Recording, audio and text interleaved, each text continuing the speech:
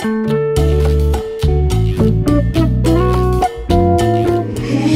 welcome to Vlogmas. Welcome to Vlogmas. I want to say this is day 9 and 10. So today we're going to be installing some shelving units into this back wall or onto this back wall back here. Um, I just want to create some dimensions in the wall because uh, let me take off the tripod so that I can show you so if you can see, it really doesn't have any dimensions. It's just kind of flat with this um, picture going, being the focal point right now. And then I have some lights stringed up there, which has no rhyme or reason. And then I have a clock. So I just want to um, curate maybe like a gallery wall like over here because I'm going to be taking this picture down. And then uh, the shelving is going to provide some kind of dimension and balance in the wall so that I could just add some decor and some pictures and you know just kind of style style it up. Uh, so that is the goal for today. I got so that's what we're going to do today so stay tuned if you are interested in watching of course before I start with the wall I'm going to get something to eat so I got this pretzel I think it's a German pretzel from uh, bun from Lidl.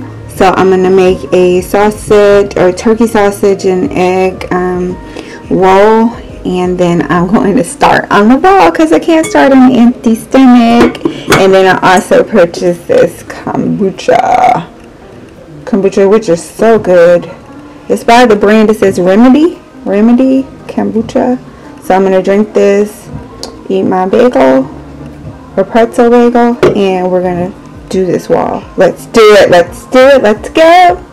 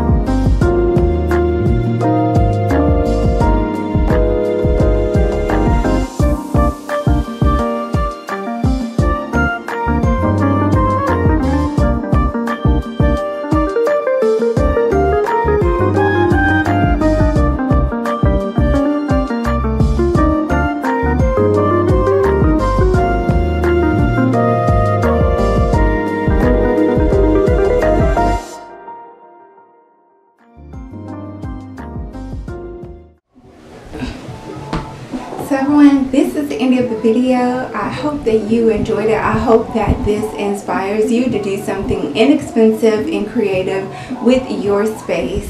Uh, I will have the link from where I purchased the, um, the shelving units and I hope you enjoy. Have a wonderful day and I'll see y'all in the next video. Peace.